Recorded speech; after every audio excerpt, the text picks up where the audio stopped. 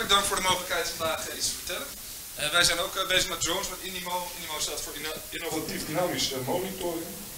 en we hebben een iets andere drone dan de meeste andere partijen, want we hebben namelijk een onderwaterdrone. dus we hebben een drone die niet vliegt, maar juist onder water zijn taken uitvoert. Oh. Bedankt. Waarom, uh, waarom denken wij dat het uh, belangrijk is? Uh, watersystemen zijn van essentieel belang voor ons voortbestaan, zowel voor de natuur als voor de mens. En wat we zien is dat met klimaatverandering en ook met de snelle ruimtelijke ontwikkelingen watersystemen heel snel veranderen. En we zijn met name geïnteresseerd bij Indigo in die dynamische veranderingen, om die op een goede manier in kaart te brengen. En dat is ook de urgentie voor nieuwe monitoringtechnieken, zoals onderwaterdrones. En hoe kunnen we die variatie van de watersystemen, die heel snel zich ontwikkelt, kunnen we die beter in kaart nou, wij hebben daar een, uh, een, tool voor, dat is de, de onderwaterdrone. Uh, dit is hem, uh, uitgerust met sensors en camera's. Dus ja, mensen noemen dat de Yellow Submarine. hij is uitgerust met een aantal sensoren. we meten nitraat, ammonium, zuurstof, maar ook temperatuur, de diepte. En zo kunnen wij een ja, waterkwaliteitsbeeld krijgen en gelijkbaarheid. Er zit ook een lamp op en we hebben een HD videocamera om dus ook onder water cameraopnames te kunnen maken. Wat weer een goed beeld geeft van de ecologie. Uh, en op die manier uh, kunnen we een 4, 4D dynamisch waterkwaliteitsbeeld maken. Dus dat is ja, drie, dus drie dimensies, verschillende parameters, maar ook de verandering in tijd. En dat levert meer inzicht op in de aquatische omgeving. Een aantal kwesties van waar we hem dan voor gebruiken. We hebben hem gebruikt onder andere voor natuurmonumenten, ecologische scan. En Natuurmonument was uh, geïnteresseerd in uh, de variatie van waterkwaliteit en ecologie in het getijdengebied 10 gemeente. Daar een pilot gedaan. Maar ook uh, maatregelen als fonteinen die worden aangelegd om ook zuurstofgehalte te verbeteren in sterk oppervlaktewater. Nou, wat zou eigenlijk de effectiviteit daarvan zijn? Wat is het invloedsgebied van zo'n fontein?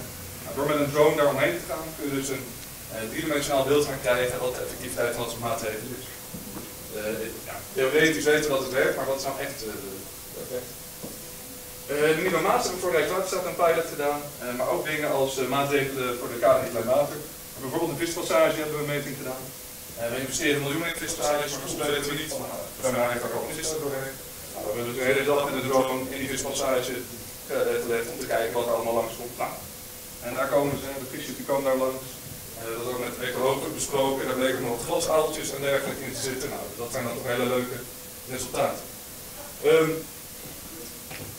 het gebruik binnen duikers uh, is mogelijk, dus om te kijken, bijvoorbeeld illegale rioolaansluitingen, nou, dat kun je ook met een doen. En de effectiviteit van helofietenfilters en uh, kunstmatige wortels. Dus dat is maar een uh, ja, selectie van de toepassing. Een aantal komen we wat verder op terug. Drone is ontstaan bij onderzoek naar de invloed van drijvende gebouwen naar waterkwaliteit. We hebben een heel groot consortium van allerlei partijen hebben dat onderzocht. omdat wij wilden weten van nou, wat is nou, je ziet steeds vaker drijvende gebouwen, wat is nou de invloed daarvan op de waterkwaliteit? We hebben heel Nederland op uh, alle locaties die u daar ziet uh, onderzocht. Zo zijn we begonnen. Uh, dit is een pilot die we hebben gedaan in samenwerking met Beltland. We hebben gekeken in een duiker van zitten er hebben bijvoorbeeld illegale aansluitingen op die duiker. En dan kun je dus door een uh, maken van je waterkwaliteit. bijvoorbeeld van de zuurstofgehalte kun je gaan kijken, nee, hier gebeurt iets bijzonders. En wellicht dat daar dan iets te vinden is. Nou, we zien hier de temperatuur, uh, de gelijkbaarheid wat omhoog lopen. Hetzelfde geldt voor de temperatuur. Dat is een indicatie van, nou, er wel daar die plek in de duiker wat kunnen zitten. Uh, dus ook voor dit soort inspectiemethodes, opsporing, is een uh, onderwaterdrone uh, geschikt. Um, we hebben een pilot gedaan naar uh, motselgroei in Sloterplas, 30 meter diepte. Normaliter wordt dat gedaan met van die, ja, van die grijpers, om dan dus een ja, monster te nemen. Maar met verzorging natuurlijk ook wel moet nou, en dit was voor onze manier om te kijken van hoe kunnen wij met onze drone gaan. Nou, dat bleek 30 meter diepte toch een hele mooie beeld op te leveren. Uh, waarbij je dus uh, ja, eigenlijk op een minder verzorgende manier toch een heel mooi beeld krijgt. Uh, van wat daar op gebeurt. Het leuke is als je dat dan weer kan koppelen met de GPS-gegevens dat je ook dit kaartjes kunt gaan maken. En dat je kunt zien waar is die drone geweest, welke plek heeft hij gemeten. Nou, dat kun je natuurlijk weer koppelen aan gids, dus er is heel veel mogelijkheden over. Het gebied van big data. Uh, waterkwaliteit uh, in kaart brengen op dezelfde manier, ook weer met een GPS-platform hebben we gedaan in de Delft, Kruidhuisweg. Dan kun je dus dit soort kaartjes gaan maken bijvoorbeeld van de temperatuur. Nou, een hogere temperatuur kan ook een indicatie zijn dat daar wellicht uh, een lozing zou kunnen zitten. En, illegale aansluiting.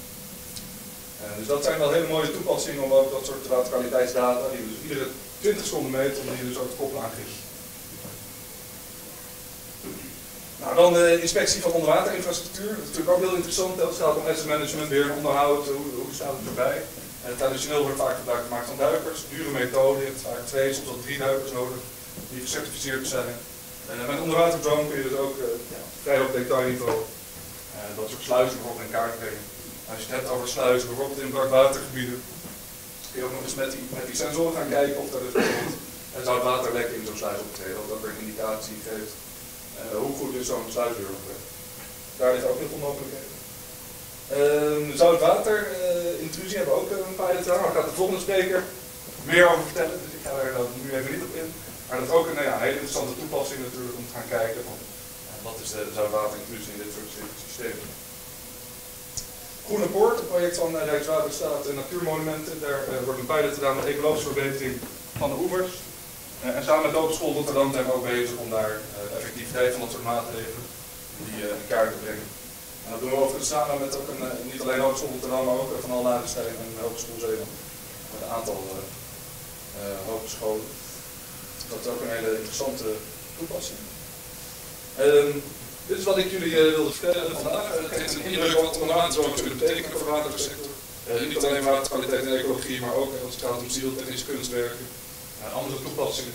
En we hebben uh, op onze website ook een video staan en op YouTube over onze beste pilots die we hebben gedaan. ik heb ook nog wat informatie meegenomen als u daar interesse in heeft. En de Open Space die straks wordt gehouden, de naam daarvan is Yellow Submarine dus voor de mensen die de, de Beatles dat, leuke muziek vinden, die kunnen ook daarheen komen. En natuurlijk iedereen die geïnteresseerd is om later te Super, Rutger, dankjewel.